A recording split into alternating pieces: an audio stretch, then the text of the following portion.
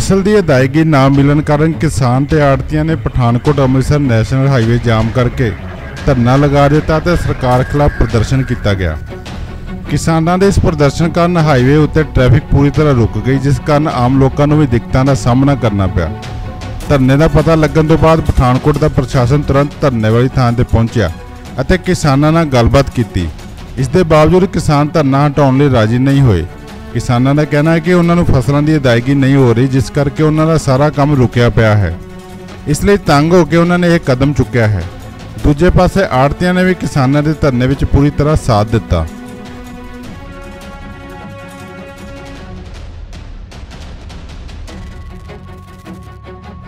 ਕਿਸਾਨ ਜਥੇਬੰਦੀਆਂ ਤੇ ਮਜ਼ਦੂਰ ਜਥੇਬੰਦੀਆਂ ਨੇ ਮਿਲ ਕੇ ਲਾਇਆ ਸੀ, ਕਿਉਂਕਿ ਸਰਕਾਰ ਦਾ ਉਹ ਕਹਿੰਦੇ ਸੀਗੇ ਅਸੀਂ 48 ਘੰਟਿਆਂ ਦੇ ਵਿੱਚ ਜਿਹੜੀ ਪੇਮੈਂਟ ਆ ਜ਼ਿਮੀਂਦਾਰਾਂ ਦੀ ਕਰਾਂਗੇ।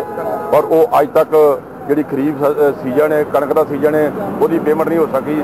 ਇਹ ਮਜਬੂਰੀ ਬਸ ਸਾਨੂੰ ਸਰਕਾਰ ਤੱਕ ਆਪਣਾ ਮੈਸੇਜ ਪਹੁੰਚਾਉਣ ਵਾਸਤੇ ਇਹ ਧਰਨਾ ਲਾਇਆ ਗਿਆ ਅਸੀਂ ਇਹ ਧਰਨਾ ਇਸ ਕਰਕੇ ਲਗਾਇਆ ਸੀ ਕਿਉਂਕਿ ਸਰਕਾਰ ਕਹਿੰਦੀ ਸੀ, ਆਪਾਂ 24 ਘੰਟੇ ਬਾਅਦ ਪੇਮੈਂਟ ਕਰ ਰਹੇ ਆ ਪਰ ਹੁਣ ਤੱਕ 24 ਘੰਟੇ 24 ਦਿਨ ਹੋ ਗਿਆ ਨਾ ਅਜੇ ਤੱਕ ਇੱਕ ਪੈਸਾ ਵੀ ਸਾਡੇ ਖਾਤੇ ਵਿੱਚ ਨਹੀਂ ਆਇਆ।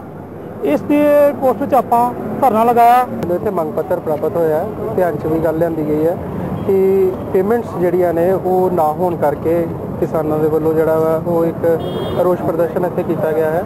ਜਿਸ ਸੰਬੰਧੀ ਮੈਂ ਚੰਡੀਗੜ੍ਹ ਸੰਬੰਧਿਤ ਅਧਿਕਾਰੀਆਂ ਦੇ ਨਾਲ ਗੱਲ ਕੀਤੀ ਹੈ। ਉਹ ਕਹਿ ਰਹੇ ਰਿਜ਼ਰਵ ਬੈਂਕ ਆਫ ਇੰਡੀਆ ਦੇ ਨਾਲ ਗੱਲ ਹੋ ਰਹੀ ਹੈ। ਜਿਹੜੇ ਬਿੱਲ ਨੇ, ਉਹ ਜਮ੍ਹਾਂ ਹੋ ਚੁੱਕੇ ਨੇ। ਬਿੱਲ ਜਿਹੜੇ ਰਿਜ਼ਰਵ ਬੈਂਕ ਆਫ ਇੰਡੀਆ ਵੀ ਜਮ੍ਹਾਂ ਹੋ ਚੁੱਕੇ ਨੇ। ਬਸ ਉਹਨਾਂ ਦੇ ਨਾਲ ਇਹ ਪੇਮੈਂਟ ਦੇ ਸੰਬੰਧੀ ਜਿਹੜਾ ਕੁਝ ਮਸਲੇ ਹੈਗੇ ਨੇ ਜਿਹੜੇ ਸਰਕਾਰ ਪੱਧਰ ਤੇ ਫੈਸਲਾ ਲਿਆ ਜਾਣਾ ਉਹ ਜਲਦੀ ਜਿਹੜਾ ਉਹ ਫੈਸਲਾ ਲੈ ਕੇ ਤੇ ਪੇਮੈਂਟਾਂ ਸਾਰੀਆਂ ਕਲੀਅਰ ਹੋ ਜਾਣਗੀਆਂ। ਕਿਸ ਆਸ਼ਵਾਸਨ ਕਰਨਾ ਚਾਹੁੰਦੇ ਇਹੀ ਆਸ਼ਵਾਸਨ ਤੇ ਕਿ ਅਸੀਂ ਇਹ ਕੇਸ ਨੂੰ ਪਰਸਿਊ ਕਰ ਰਹੇ ਹਾਂ।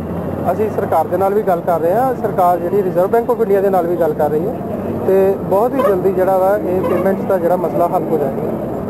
ਪਠਾਨਕੋਟ ਤੋਂ ਕੈਮਰਾਮੈਨ ਧਰਮਿੰਦਰ ਠਾਕੁਰ ਦੇ ਨਾਲ ਕਮਲ ਰੰਧਾਵਾ ਦੀ ਰਿਪੋਰਟ ਪੰਜਾਬ ਟੁਡੇ